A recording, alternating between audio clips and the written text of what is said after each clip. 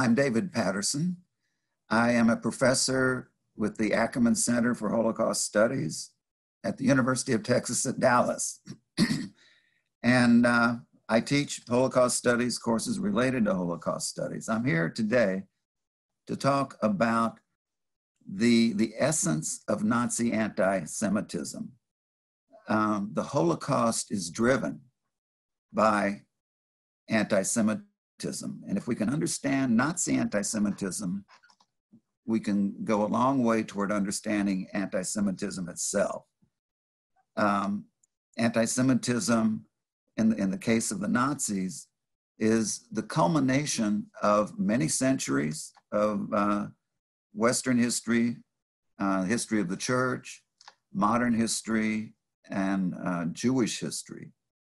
So uh, there are many centuries that paved the way to the Third Reich. Um, going back to uh, almost 2,000 years when um, Christian anti Semitism began to set in, began to develop. um, the Jews were regarded as having been superseded, therefore superfluous, the Jews, um, by the end of the fifth century, were they were being demonized. Um, they were viewed as a danger to to the soul itself. The Jews conscientiously reject redemption and salvation. They know very well that Jesus was the Messiah because they they wrote the book on how to recognize the Messiah.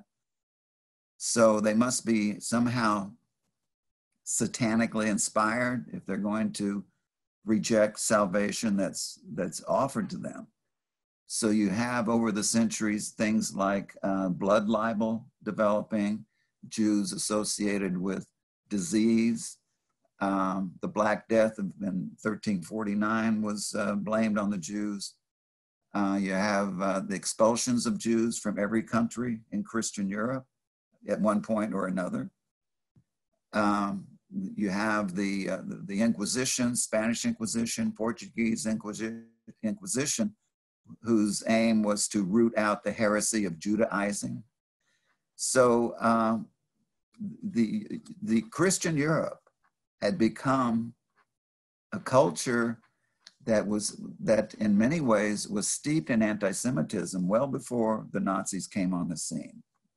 The Jews were Christ killers. Uh, the Jews were uh, the source of all sorts of you know immorality and so on.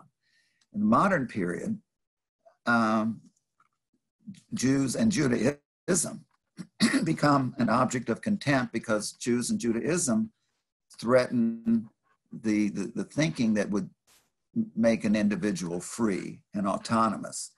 Uh, to be free is to be self legislating. The Jews uh, are said to have a uh, a slave mentality because they follow commandments that come from outside.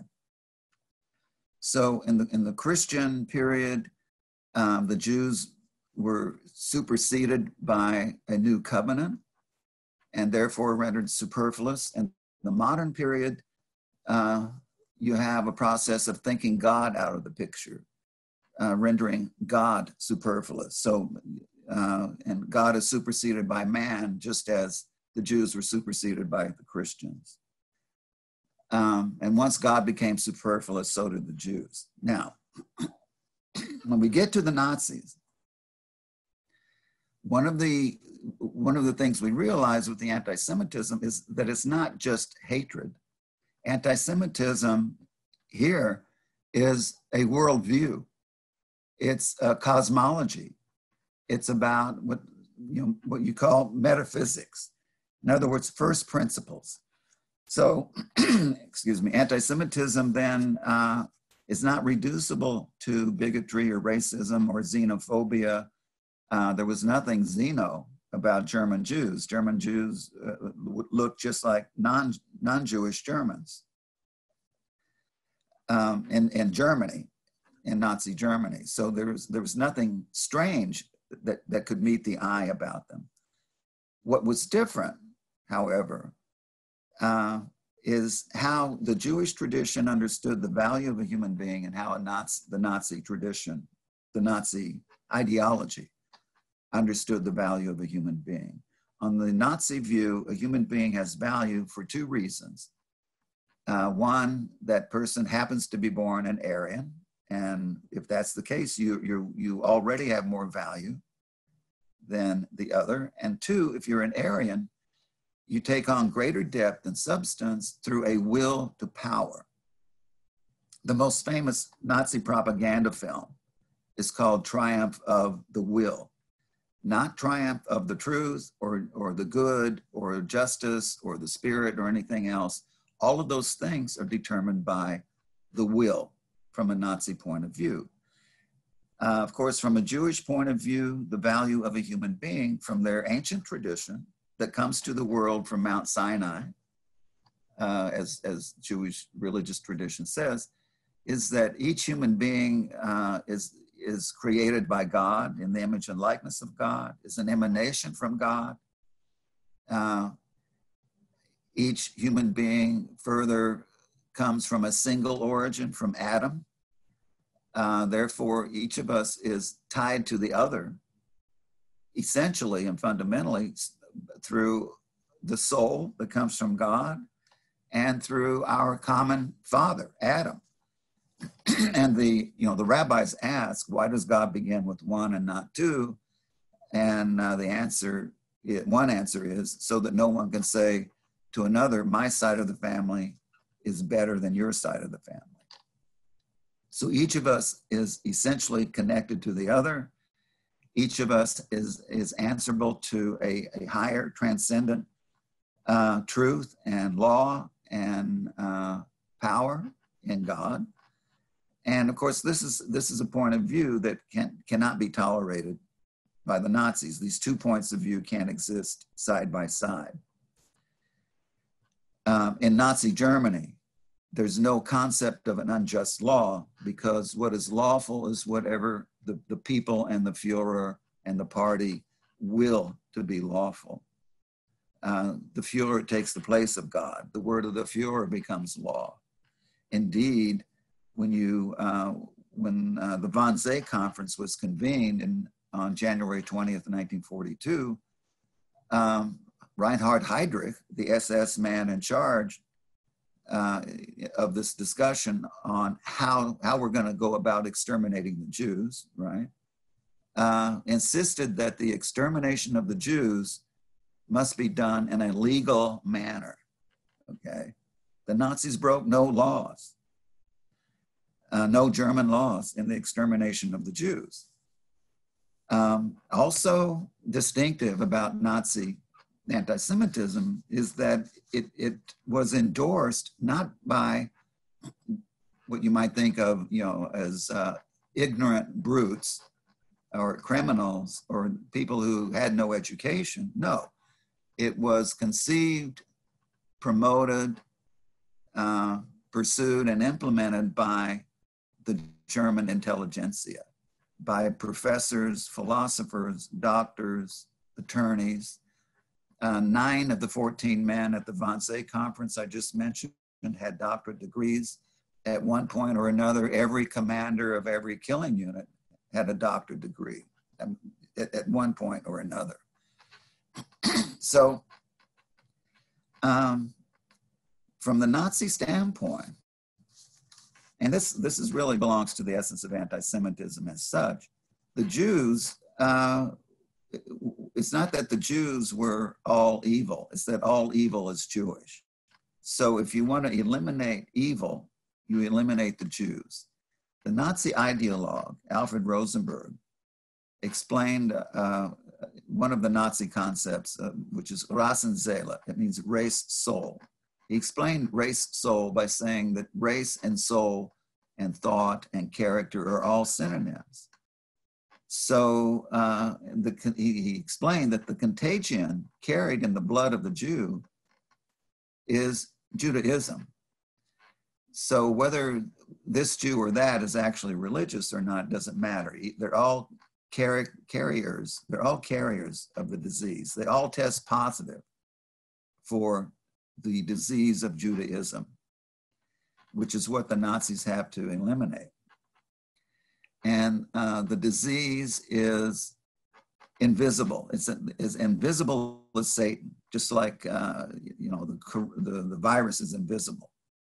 So the Nazi, and it's just as ubiquitous. So the Nazis, unlike any other anti-Semitic movement, they their aim was to eliminate every Jew in the world. The Nazis went to Tromsø, Norway, uh, which is 220 miles north of the Arctic Circle. They went into the Arctic to Tromso because there were 17 Jews there, and they went to get the Jews. So it's it's pervasive. It's as pervasive as Satan. Um, and of course, Satan, the ultimate Satan, is the God of Abraham and Isaac and Jacob, the God of the Jews. The war against the Jews was a war against the God of Abraham. So you see this when the Nazis forbid Sabbath observance. They plan their actions according to the Jewish holy calendar. They would forbid at various points burial of the dead. They would forbid Jews from putting mezuzahs on their doors, a little container con- with scriptures inside. They would forbid the use of the ritual bath. They would forbid prayer. They would, uh, you know, forbid any any religious observance. Further, even more so, how do you kill God? How do you kill God? With the Nazis, they kill God by targeting the children and the mothers and the fathers not just children, mothers, and fathers, but the idea of a child, the idea of a mother, the idea of a father. Children were first targets. Uh, more than 85% of the Jewish children of Europe were, were murdered. Children in the Jewish tradition represent holiness in the world. Creation is held up by the breath of little children, we're taught. The lips of children take our prayers to God's ears because children are are, are untainted by sin. Their lips are untainted by sin. Um, with the mothers, if the Jews' crime is existing in the world, the most heinous of criminals is the, the mother who brings the Jew into the world.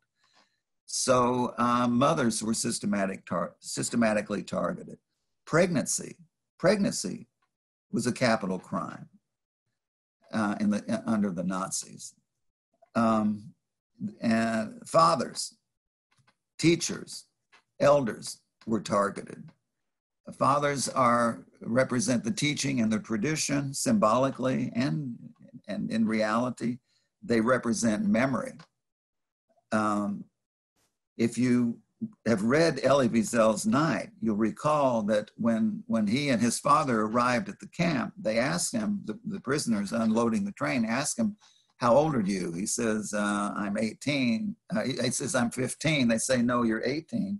How old is your father? He's 50. No, he's 40. If they think you're a child, if they think he's an elder, they'll kill you. They'll kill you both. In the end, in as much as this is, I, I suggested Nazi anti Semitism is about a concept of the human being, it finds its most horrific, its most concrete expression in the creation of the Muslim, the walking dead, the ones who, who don't talk, don't eat, don't respond, who are who uh, should be dead but are not, the ones who who who, uh, in the words of Primo Levi, are the backbone of the camp. This is a unique Nazi creation.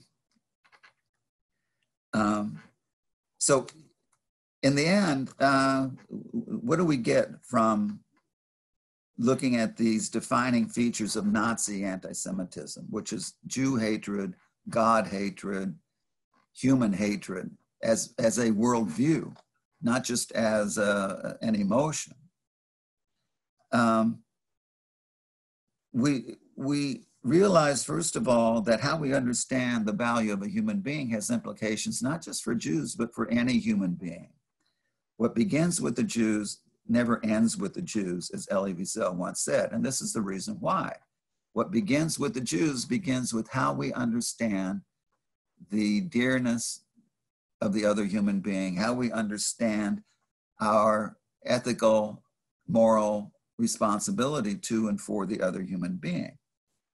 The, the, the, Nazis talked about a final solution to the Jewish question. What is the Jewish question? What is it? uh, I think the Jewish question that they want to get rid of, that they want to resolve, is the question put to, to the first human beings, the question put to Adam, where are you? The question put to Cain, where's your brother and what have you done?